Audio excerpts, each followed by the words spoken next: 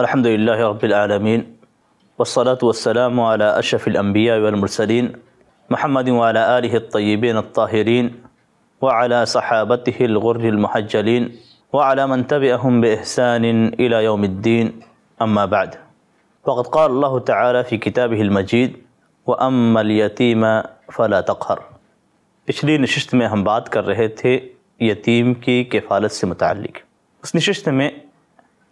آپ کے سامنے یتیم کی کفالت، اس کی اہمیت اور اس کی فضیلت سے متعلق چند باتیں ذکر کی گئی تھیں۔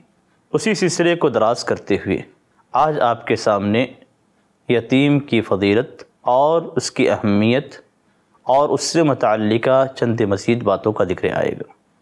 ناظرین کرام، اگر ہم قرآن آیات کا مطالعہ کرتے ہیں اور قرآن کے اندر یتیم سے متعلق آیات کو بغور پڑھتے ہیں تو ہمارے سامنے یہ بات بالکل واضح طور سے نظر آتی ہے کہ اللہ تبارک و تعالیٰ نے یتیم کے تعلق سے پانچ پہلو کو ذکر کیا ہے۔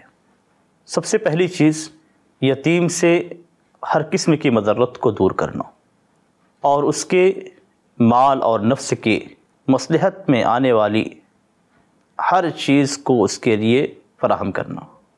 ہر تکلیف دہ چیز کو یتیم سے دور کرنا اور ہر کارآمد اور بہتر چیز کو چاہے وہ اس کے نفس کے لیے ہو یا مال کے لیے ہو، اس کے لیے فراہم کرنا۔ دوسرا پہلو اس کی ازدواجی حالت ہے۔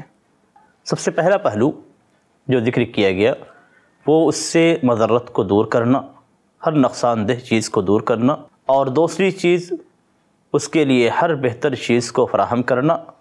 تیسری چیز اس کے ازدواجی زندگی سے متعلق ہے۔ چوتھی چیز، اس کے ساتھ حسن سلوک پر ابھارنا ہے۔ اور پانچویں چیز، اس کے نفسیاتی حالت کی رعایت کرنا ہے۔ یہ پانچ پہلو ہیں جن کو اللہ تبارک و تعالیٰ نے متعدد آیات کے اندر ذکر کیا ہے۔ اللہ تبارک تعالیٰ فرماتا ہے، وَإِذْ أَخَذَنَا مِيثَاقَ بَنِي إِسْرَائِيلِ لَا تَعْبُدُونَ إِلَّا اللَّهَ وَبِالْوَالِدَيْنِ إِحْسَانًا کہ ہم نے بنی اسرائیل سے یہ عہد و پیمان لیا کہ تم اللہ تبارک و تعالیٰ کے علاوہ کسی دوسرے کی عبادت نہیں کرو گے۔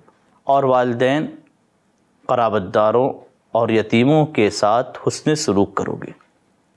یہاں پہ اللہ تبارک و تعالیٰ نے حسن سلوک پہ ابھارا ہے۔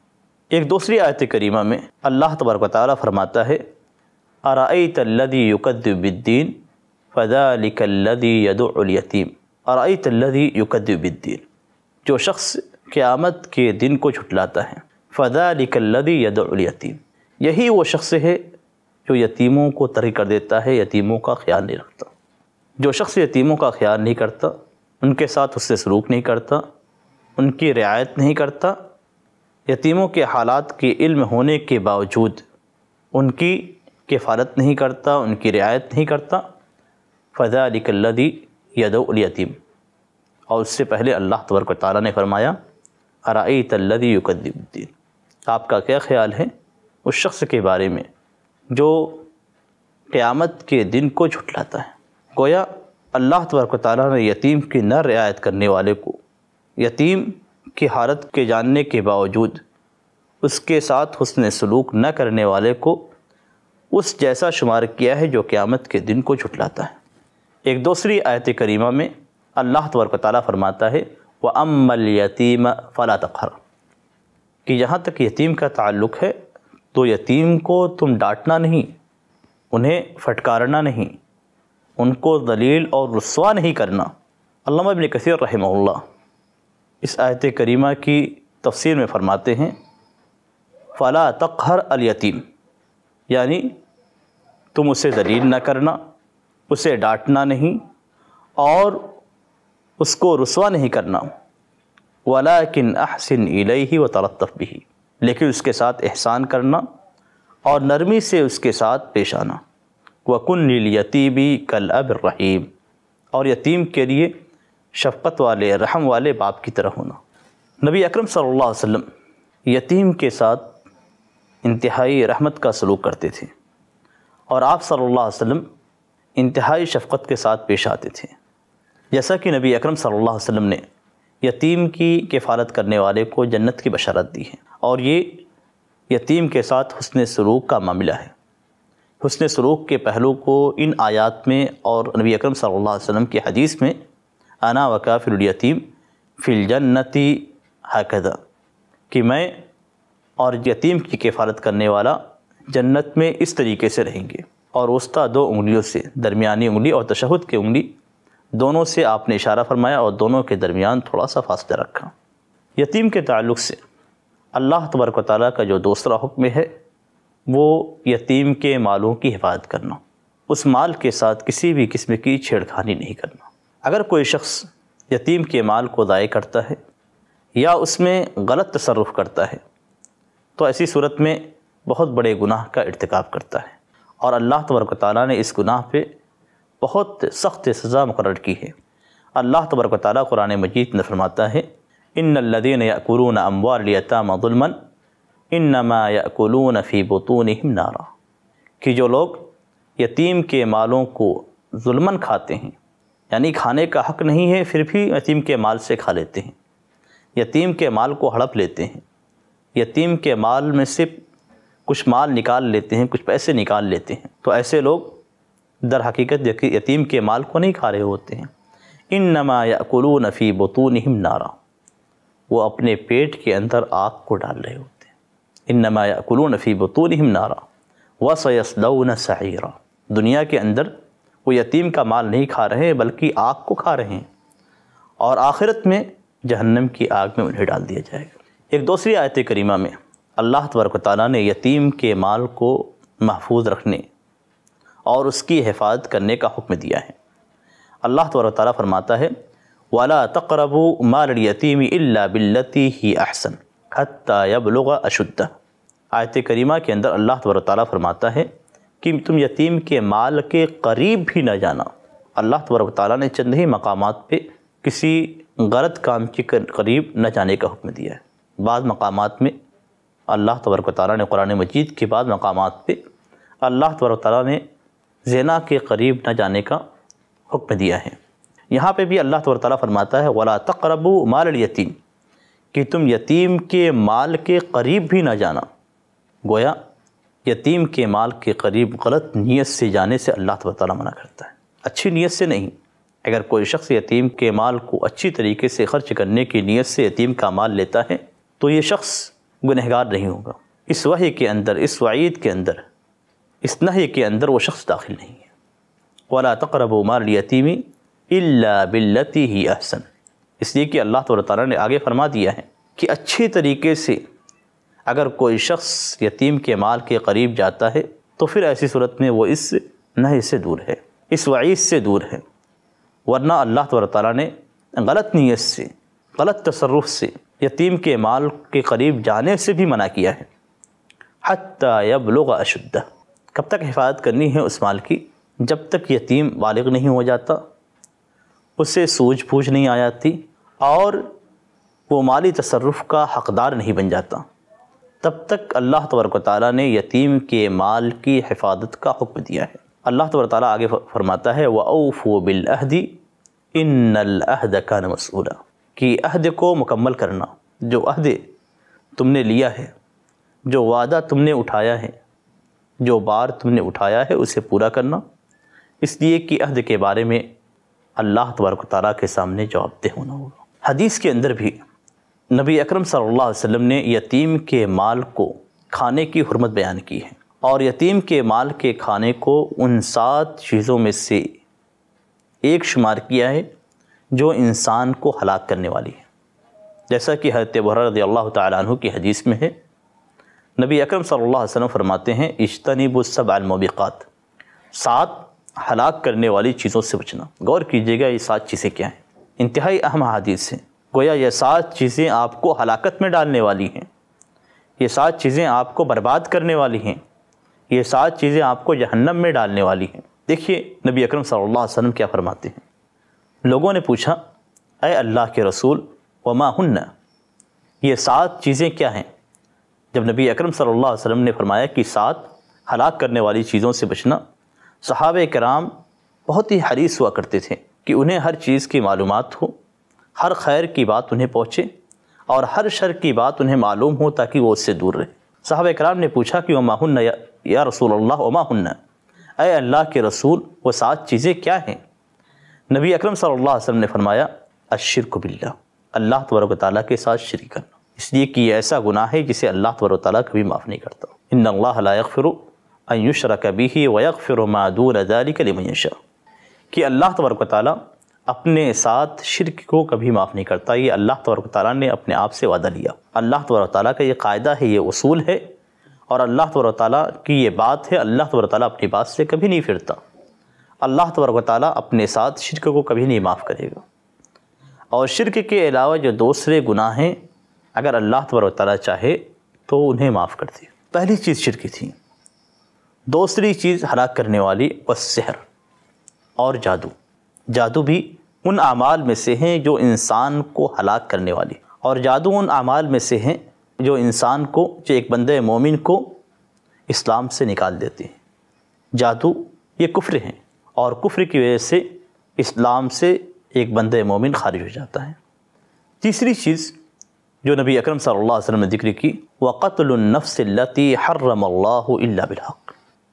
اور اس نفس کو قتل کرنا، جسے اللہ تبارک و تعالیٰ نے حرام قرار دیا ہے۔ جن جانوں کو اللہ تبارک و تعالیٰ نے حرام قرار دیا ہے، اسے قتل کرنا اللہ بالحق اللہ یہ کہ حق کے ساتھ اس نے قتل کیا جائے۔ یعنی وہ اس کے مستحق ہوں، قتل کے مستحق ہوں۔ شرعی طور سے تو پھر انہیں قتل کیا جائے تو وہ اس کے اندر وہ چیز، وہ لوگ داخل نہیں ہیں۔ چوتھی چیز نبی اکرم صلی اللہ علیہ وسلم نے جو ذکر کی وہ عقل الربا اور سود کا کھانا۔ آج ہمارے معاشرے میں بہت عام ہے۔ مختلف ذرائع سے ہم سود کو کھاتے ہیں، جبکہ نبی اکرم صلی اللہ علیہ وسلم نے اس کی بہت بڑی شناعت ذکر کی ہے۔ نبی اکرم صلی اللہ علیہ وسلم نے دوسری احادیث میں اس کو بہت بڑا جرم قرار دیا ہے۔ اور اللہ تبارک و تعالیٰ نے بھی قرآن آیات کے اندر اس جرم کا جب ذکر کیا، تو بڑے ہی عجیب انداز میں ذکر کیا ہے۔ یہ اللہ اور اس کے رسول کے ساتھ جنگیں ہیں۔ اور آج ہمارا معاشرہ سود کے پیچھے پڑا ہوا ہے کہ کس طریقے سے کوئی راستہ ملے اور سود کے کسی راستے کو حلال کر لیا جائے۔ آج ہمارا معاشرہ روزی روٹی کے چکر میں ہر قسم کے کام جن میں سود لینا اور دینا بھی ہے ملوث ہو چکا ہے۔ اللہ تبارک و تعالیٰ ہمیں اس لانت سے بچائیں۔ پانچویں چیز جو نبی اکرم صلی اللہ علیہ وسلم نے ذکر کی۔ اور یہی اس حدیث کے ذکر کرنے کا مقصد ہے۔ وہ عقل مال یتیم اور یتیم کے مال کو کھانا۔ یتیم کے مال کو کھانا ان چیزوں میں شامل ہے جو بند مومن کو ہلاکت میں ڈالنے والی ہیں۔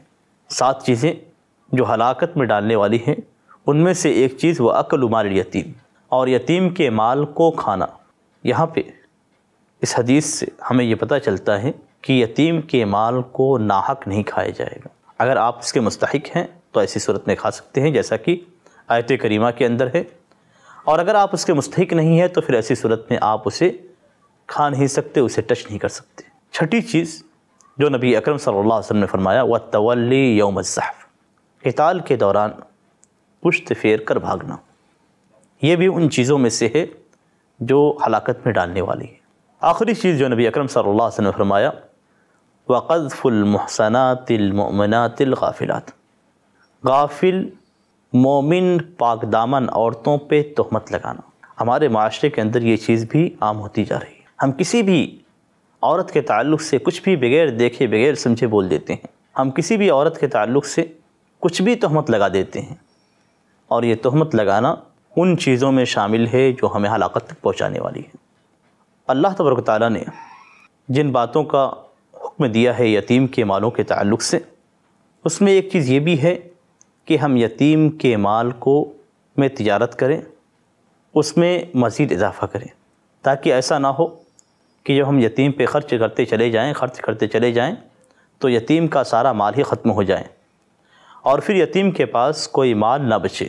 اس سے بچانے کے لیے اللہ تبارک و تعالیٰ نے یتیم کے مال کو اور اللہ کے رسول صلی اللہ علیہ وسلم نے اور صحابہ کرام کے عمل نے بھی، صحابہ کرام کے آثار میں بھی یہ بات آتی ہے کہ یتیم کے مال میں تجارت کی جائے، اس میں بڑھاوا کیا جائے، اس کو مزید زیادہ کیا جائے۔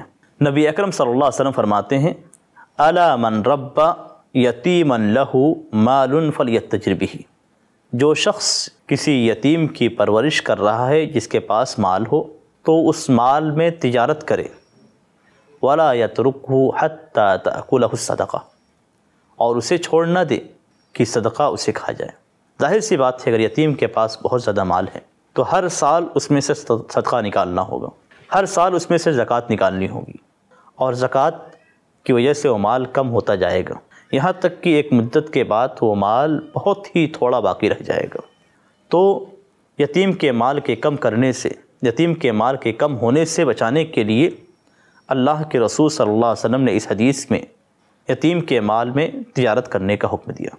حضرت عمر رضی اللہ تعالیٰ عنہ سے مروی ہے کہ وہ کہتے ہیں اتجرو فی مال یتامہ حتی لا تاکل الزکات۔ کہ یتیم کے مالوں میں تجارت کرو تاکہ اسے زکوٰۃ کھا کر ختم نہ کر دیں اس لیے ہمیں، اگر ہم کسی یتیم کی کفالت کر رہے ہیں اور یتیم کے پاس مال ہے تو ہمیں چاہیے کہ اس مال کو تجارت میں لگا دیا جائے۔ اس مال میں کوئی ایسا تصرف کیا جائے جو اس میں اضافے کا سبب ہو۔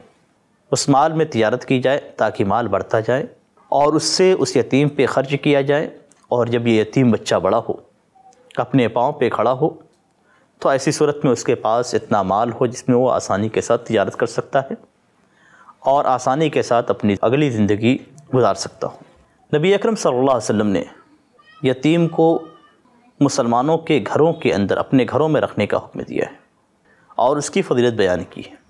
یتیموں کی پرورش کے تعلق سے نبی اکرم صلی اللہ علیہ وسلم نے یہ فضیلت بیان کی، یہ اہمیت بیان کی یا یہ حکم دیا کہ یتیموں کو مسلمان اپنے گھروں میں رکھیں۔ اس لیے کہ گھر کے اندر بہتر تربیت ہو سکتی ہے۔ گھر کے اندر اس سے ایک گھر فراہم ہوگا جس میں اجتماعی طور سے وہ مختلف قسم کے افراد باپ، ماں، بھائی اور بہن کے ساتھ رہے گا۔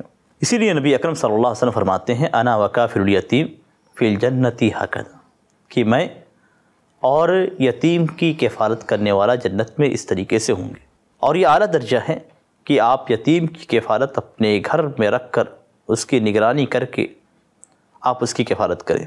صحابہ کرام رضی اللہ تعالیٰ عنہ کے گھر یتیموں سے پر رہتے تھے۔ صحابہ کرام یتیموں کی کفالت کا بہت اہتمام کرتے تھے۔ حضرت عبداللہ بن عمر رضی اللہ تعالیٰ عنہ کے تعلق سے یہ بات منقول ہے کہ وہ جب بھی کھانا کھاتے تو ان کے دسترخوان پہ کوئی نہ کوئی یتیم ضرور موجود ہوتا۔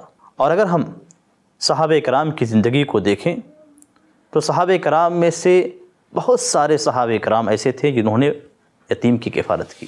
اور یتیم کی تسلی کے لیے یہی کافی ہے کہ اللہ کے رسول صلی اللہ علیہ وسلم یتیم تھے۔ گویا ایک ایسے بچے کی کفالت کر رہے ہیں جو نبی اکرم صلی اللہ علیہ وسلم کی طرح یتیم ہے تو یہ بہت ہی فضیلت اور اہمیت کی بات ہے کہ کوئی شخص سے ایک ایسے بچے کی تربیت کرے، اس کی پرورش کرے جو نبی اکرم صلی اللہ علیہ وسلم کے ساتھ ایک صفت میں شریک ہیں۔ اللہ تبارک تعالیٰ سے دعا ہے کہ اللہ تبارک تعالیٰ ہمیں یتیموں کے ساتھ حسن سلوک کرنے کی توفیق عطا فرمائے اور ان کی کفارت کرنے کا موقع عنایت فرمائے۔ تاکہ ہم اس عمل کے ذریعے سے جنت میں داخل ہو سکیں۔ حاضہ و صلی اللہ علیہ نبی محمد وعلیٰ علیہ وصحبہ وسلم۔ ایسے ہی اور ویڈیوز بنانے میں ہماری مدد کریں۔